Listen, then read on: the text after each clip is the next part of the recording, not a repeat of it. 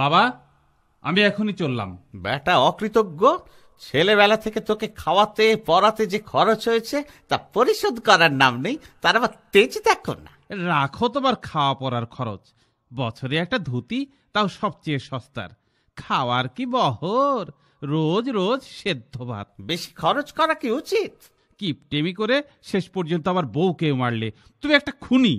তোর বউ মূল্য রোগ ভোগে আর আমি হলাম খুনি। আমার বউয়ের গুরুতর পীড়াকালে কবিরাজ এক বহু ব্যয়সাধ্য ওষুধের ব্যবস্থা করাতে তুমি কি করলে? কবিরাজকে দিলে তাড়িয়ে। বললে, তার কোনো অভিজ্ঞতা নেই। তোমার কত অনুনয় বিনয় করলাম, তুমি শুনলেই না। বিনা চিকিৎসায় আমার বউ মারা গেল। তুমি একটা খুনি।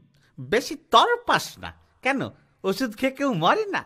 দামি ওষুধ খেলেই যদি বেঁচে থাকা যায় তবে রাজা বাদশারা মরে কোন দুঃখে? যেমন করে তোর দিদিমা মরেছে তোর মা মরেছে তোর স্ত্রী কি তার চেয়েও বেশি ধুমধাম করে মরবে নাকি? তুমি পাষাণ তুমি খুনি। আমি গোকুলকে নিয়ে গৃহত্যাগ করলাম। তথাস্তু তোমরা গৃহত্যাগী হতে পারো। তোর চেঁচামেচিতে বাড়ির সামনে সব প্রতিবেশী জড়ো হয়েছেন। আপনাদের সমক্ষে আমি বলছি যে বৃন্দাবনকে যদি কখনো এক পয়সা দিই তবে তা গো রক্তপাতের সাথে গণ্য হবে। আমিও সর্বসমক্ষে বলছি যে আমার পিতা যজ্ঞনাথের ধনগ্রহণ আমার জন্য মাতৃ রক্তপাতের ন্যায় পাতক রূপে গণ্য করছি। চল গোকুল এখানে আর এক মুহূর্ত নয়। ওহে যজ্ঞনাশ। যজ্ঞনাথ যজ্ঞনাশ নয়। আরে পাড়ার লোকেরা তোমার নাম যজ্ঞনাশ বলে বলে এমন করে দিয়েছে না যে আমারও মুখ ফুসকে বেরিয়ে গেল। যজ্ঞনাথ কিছু মনে করো না আর এমন হবে না। পাড়ার ছেলে ছোকরারা আমাকে চামচিকে বলেও ডাকে। তাই নাকি? যজ্ঞনাশ বলার একটা চুক্তি না হয়ে থাকতে পারে। কারণ আমি মিতব্যয়ী কিন্তু চামচিকে? আর বাদ দাও। বাদ দাও সব কথা। আজ বিকেলে বেড়াতে এলে না যে। হ্যাঁ নাতিটাও চলে গেল তাই মনটা একটু উচাটন আছে আর কি। তোমার ছেলেটার একদম বুদ্ধি হলো না। বউ মরে ভূত হয়ে গেছে। এই সামান্য একটা বউয়ের জন্য বাপের সাথে বিবাদ করা। কেবল একালেই সম্ভব। দিনকাল কেমন বদলে গেছে দেখেছ? হিসাব করে চলতে হয়। টাকা পয়সা খরচ করা কি ভালো? ভবিষ্যতের জন্য সঞ্চয় করাই তো কর্তব্য। সেই তো। তোমার মতো বাপ পাওয়া মহাভাগ্যের কথা। তোমার গোয়ার গোবিন্দ ছেলে বুঝলো না যে একটা বউ গেলে অনতি বিলম্বে আর একটা বউ সংগ্রহ করা যায়। কিন্তু বাপ গেলে দ্বিতীয় বাপ মাথা খুললেও পাওয়া যাবে না। যুক্তি খুবই পাকা সন্দেহ নেই। কিন্তু আমার বিশ্বাস বৃন্দাবনের মতো ছেলে যুক্তি শুনলে অনুতপ্ত না হয়ে বরং কিঞ্চিত আশ্বস্ত হতো। ছেলের জন্য মনো কষ্ট হচ্ছে না তো। কি যে বলো বৃন্দাবন যাওয়াতে এক তো ব্যয় সংকট হলোই তার ওপর একটা মহা ভয় দূর হলো। বলো কি ভয় ছিল? আর বলো না বৃন্দাবন কখন আমাকে বিষ খাইয়ে মারে? এই আশঙ্কা সর্বদাই ছিল। বৃন্দাবনের পেটে পেটে এত ছিল?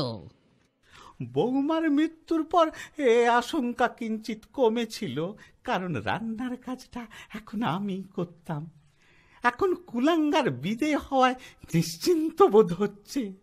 যজ্ঞনাথ অনেক বিলম্ব হলো। সাবধানে থেকো। একা একা বাড়িতে থাকার অনেক হ্যাপা আমি তাহলে আসি। হ্যাঁ হ্যাঁ এসো এসো। অপদার্থ বৃন্দাবন, বাড়ি ছেড়ে যখন গেল, আমার নাতি গোকুলের বয়স তখন সবে চার বছর। ওর চলে যাওয়ার খরচের সাশ্রয় হয়েছে। এই তিন বছরে অনেক টাকাও জমেছে। কিন্তু বাড়িতে গোকুল না থাকায় বাড়িটা যেন শূন্য হয়ে গেছে। বাড়িতে জীবনটা ফাঁকা ফাঁকা লাগে। পুজোর সময় কেউ ব্যাঘাত করে না, খাওয়ার সময় কেউ কেড়েও খায় না। হিসেব লেখার সময় দোয়াত নিয়ে পালায় এমন উপযুক্ত লোকও দেখি না। নিরুপদ্রবে স্নানাহার সম্পন্ন করে হাঁপিয়ে উঠেছি। মনে হয় যেন আমার মৃত্যু হয়েছে। কারণ মৃত্যুর পরই লোকে এরূপ উৎপাতহীন শূন্যতা লাভ করে। দুপুরে সমস্ত বৃদ্ধরা দিবা নিদ্রা সুখ উপভোগ করে। আমার চোখে তো নিদ্রাই আসে না। আমি যে বেঁচে বর্তে আছি, তা উপভোগ করার জন্য তাই দুপুরে আম্র ছায়া শীতল গ্রামের মেঠো পথে ঘুরে বেড়াই। পদভ্রমণের সময় একটাই উৎপাত। গ্রামের ছেলে ছোকরারা থেকে থেকে আমবাগানের আড়াল থেকে চামচিকে বলে সম্বোধন করে। গাছ হয়ে গেছে, কোনো প্রতিবাদ করি না। এই সম্বোধন প্রমাণ করে যে আমি জীবিত। একদিন দুপুরে ছায়া শীতল পথে হাঁটছিলাম, কিন্তু চামচিকে সম্বোধন শুনতে পেলাম না। হঠাৎ কে যেন পেছন থেকে আমার কাঁধের গামছাটা নিয়ে পালালে। সাথে সাথে শুনতে পেলাম বালকদের অট্ট হাসি দেখলাম অনতি ধীরে বালকদের জটলা। তাদের এক নতুন সর্দার যে তাদের হাস্যাস্পদ চামচিকের গামছা হরণ করেছে। বর্তমানে গামছাখানা ওই নবাগত বালকটির মস্তকে শিরস্ত্রাণ রূপে শোভা পাচ্ছে। আকস্মিক এই আক্রমণে সর্বশরীর কণ্টকিত হয়েছিল কিন্তু এই বালখিল্য অসংখ্য আত্মীয়তা বহুদিন পাইনি তাকে বিস্তর ডাকা ডাকি এবং নানা মতের আশ্বাস দিয়ে কতকটা আয়ত্ত করে কথা বললাম এই তোর নাম কি রে? নিতাই পাল। বাড়ি কোথায়? বলব না। বাপের নামটা কি বাচ্চা? বলব না। কেন বলবে না? আমি বাড়ি থেকে পালিয়ে এসেছি। কেন কেন? আমার বাপ আমাকে পাঠশালায় দিতে চায়। তোমার বাপ বিষয় বুদ্ধিহীন। তোমার মতো বিচক্ষণ ছেলেকে পাঠশালায় দেওয়া একটা নিষ্ফল অপব্যয়। তা এখন কোথায় থাকবে? জানি না। আমার বাড়িতে এসে থাকবে? হ্যাঁ থাকব। অমন হাঁ করে তাকিয়ে আছো কেন? বাড়ি যাবে না? হ্যাঁ হ্যাঁ। চলো দাদু চলো চলো। আমার কিন্তু খিদে পেয়েছে। আমার তো খাওয়া হয়ে গেছে। ঠিক আছে তোমাকে ভাত রেঁধে দেব। ভাত কি দিয়ে খাব? কেন? আলু সেদ্ধ দিয়ে। ঠিক আছে এখন সেদ্ধ ভাত খেয়ে নিচ্ছি। রাতে কিন্তু মাছ চাই। নিতাইকে নিয়ে আমার সুন্দর সময় কাটছে। এতদিন পর মনে হচ্ছে আমি বেঁচে আছি। খাওয়া দাওয়া নিয়ে একটু ভেচাং আছে, সেদ্ধ ভাত খেতে সে নারাজ। ডাল আর মাছ রোজ চাই, তবে সস্তায় চুনো মাছেও কোনো আপত্তি নেই। বুঝলাম এ সংসারে নিজের ছেলেকে পরাস্ত করা সহজ, কিন্তু পরের ছেলের কাছে হার মানতে হলো। এই রে, এই সন্ধ্যায় আবার যদুপতি কেন আসছে? যজ্ঞনাশ বাড়ি আছো নাকি? যজ্ঞনাশ নয় যজ্ঞনাথ। খুবই দুঃখিত যজ্ঞনাথ। চারিদিকে যজ্ঞনাথ শুনে শুনে এই আমার মুখ দিয়েও বেরিয়ে এলো। আর এমন ভুল হবে না। তা তোমার ওই পোষ্য ছেলেটি কোথায়? এখনই ফিরবে। নিতাই বাড়ি পালানো ছেলে। আহা বাপ মার মনে না জানি কতই কষ্ট হচ্ছে। ওই যে তোমার পোষ্য বাড়ি ফিরল। নিতাই হাত মুখ ধুয়ে ঠাকুরের প্রসাদটা খেয়ে নাও। কি আছে প্রসাদে? বাতাসা। রোজ রোজ বাতাসা ঠাকুরের ভালো লাগে। মাঝে মধ্যে মন্ডা দিতে পারো না? যাই বলো ছেলেটি তোমার বেশ আছে। পাড়ার সবাই আলোচনা করছিল এই বিদেশি ছেলেটাকেই তুমি সমস্ত বিষয় দিয়ে যাবে। দেখো যদুপতি ছেলেটা ঘর পালিয়ে রাস্তায় রাস্তায় ঘুরছিল আমার বাড়িতে স্থান দিয়েছি। আমি তো জোর করে ওকে আটকে রাখিনি। তা ঠিক তবে এক পথিকের নিকট গ্রামের বৃদ্ধরা জানতে পেরেছে যে দশ কোষ দূরে বিতুল গ্রামের দামোদর পাল নামে জনৈক ব্যক্তি তার নিরুদ্দিষ্ট পুত্রের সন্ধান করে বেড়াচ্ছে। কালই এ গ্রামে আসার কথা। আসুক না যদি নিতাই ওই ব্যক্তির পুত্র হয়ে থাকে তবে নিয়ে যাবে? যজ্ঞনাথ আমি উঠলুম। অন্ধকার গাঢ় হলে আমি আবার হাঁটতে পারি না। আমি যে রাত কানা ঠিক আছে তুমি তাহলে এসো। নিতাই শুনলি যদুপতির কথা? দাদু আমি আর তোমার সাথে থাকব না। কেন থাকবে না ভাই? তোমাকে আমি সমস্ত বিষয় আশয় দিয়ে যাব। আমি বিষয় আশায় চাই না। আমি এক্ষুনি চলে যাব। ভাই তোমাকে আমি এমন স্থানে লুকিয়ে রাখব যে কেউ খুঁজে পাবে না। গ্রামের লোকেরাও নয়। চলো দাদু জায়গাটা আমাকে দেখিয়ে দাও। এখন তো সবে সন্ধে। লোক চলাফেরা করছে। এখন দেখতে গেলে প্রকাশ হয়ে পড়বে। রাত গভীর হোক তখন দেখাবো। তুমি দরজা বন্ধ করে বাড়িতে থাকো। আমি আমি একটু ঘুরে আসছি হ্যাঁ?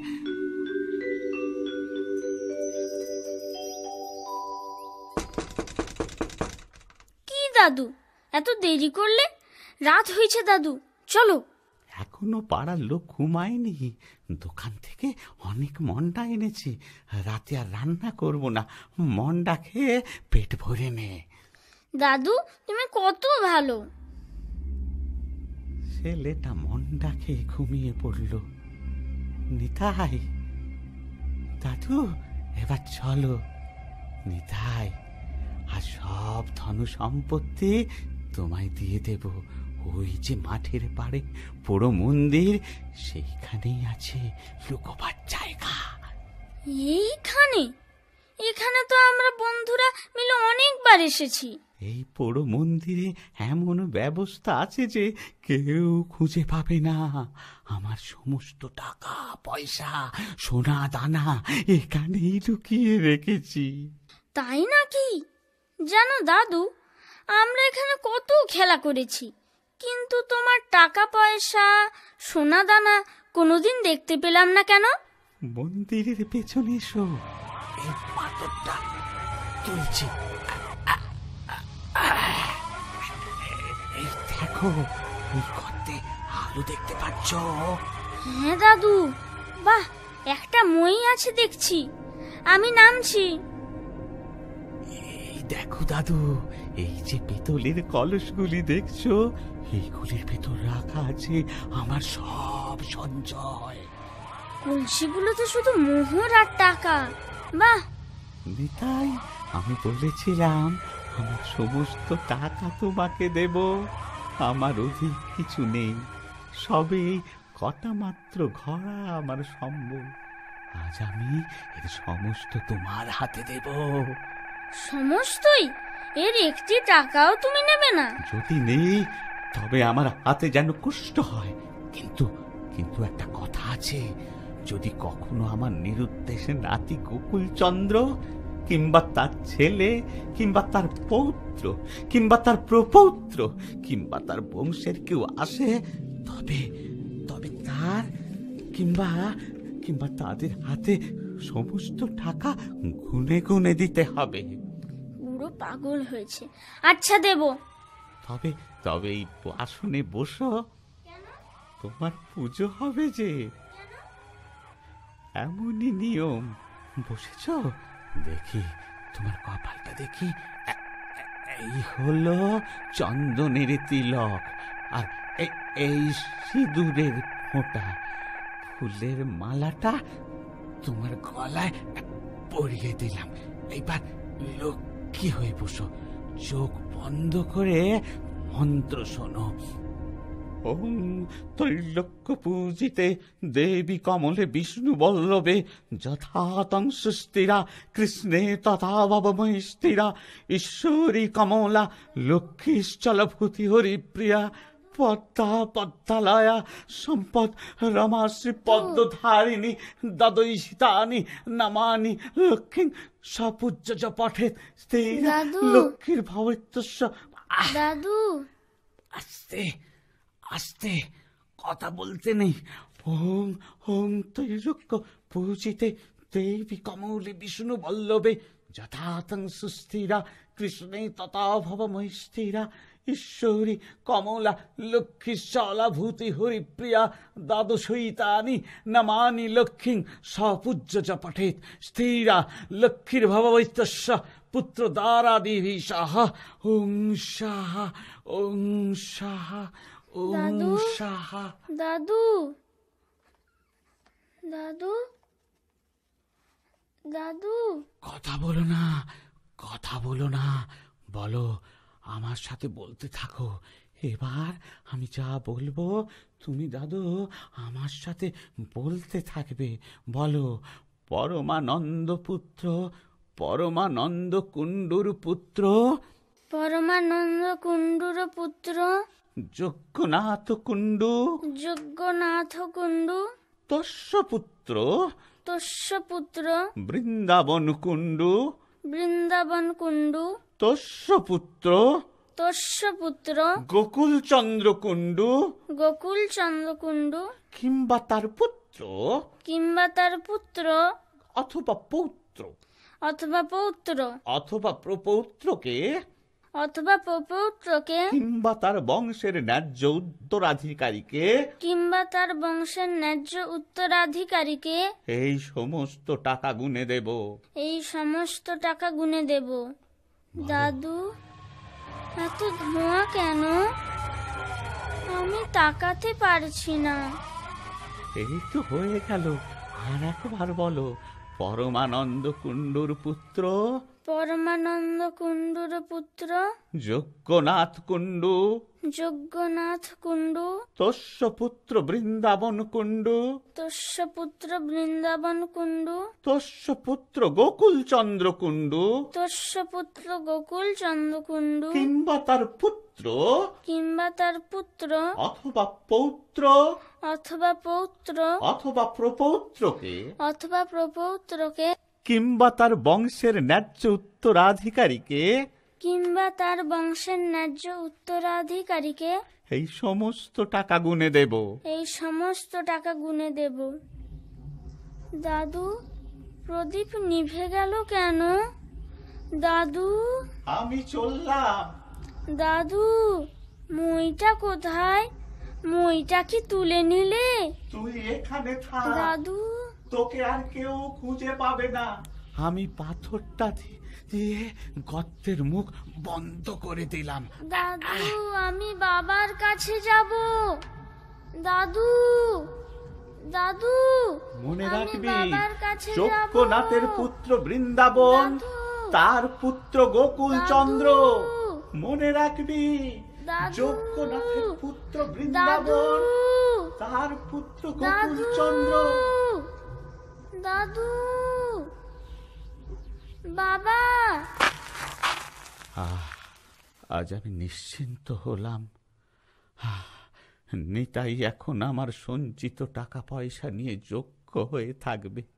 সে আমার ধন পাহারা দেবে। গোকুল অথবা তার কোনো উত্তরাধিকারীর হাতে এই যজ্ঞ কোনোদিন এই ধন তুলে দেবে। কিন্তু নিতাই যোগ্য হলো তো। একটা কান্না শুনতে পাচ্ছি।